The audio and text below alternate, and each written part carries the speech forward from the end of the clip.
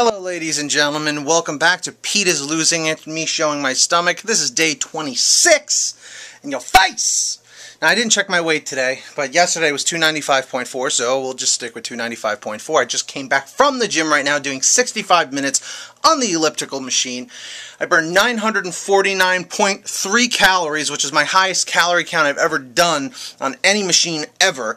So it's basically almost a thousand calories, which is pretty friggin' awesome. I did 4.69 miles and uh, I feel great. My whole shirt is sweated up real nice. So let's get this shirt off and get into this stomach showing business right here.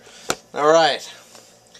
So if you are new to my channel, if you just subscribed yesterday, today, or whenever, let me know in the comment section and give this video a rating, a thumb up, thumb down, something to let me know you're watching.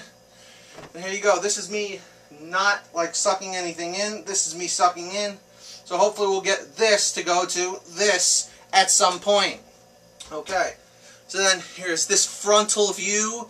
So all you crazy people out there, just take it all in. All right. So. Hey! Alright. So, that's what you get for today. So my question to you guys is today, besides are you a new viewer of mine, um, blah, blah, blah, blah, blah, blah. What is your favorite food and do you think it's healthy for you? My favorite food is probably a tie between pizza or like hamburgers, I would say, or pasta. I don't know. Those are my top three. What are your top three? Leave them in the comment section below. But anyway, guys, today is day 26. I am Pete from Pete is Losing It in my mind and in my waist. And I'll see all of you wonderful people tomorrow. Hit that button up there that says subscribe if you haven't already.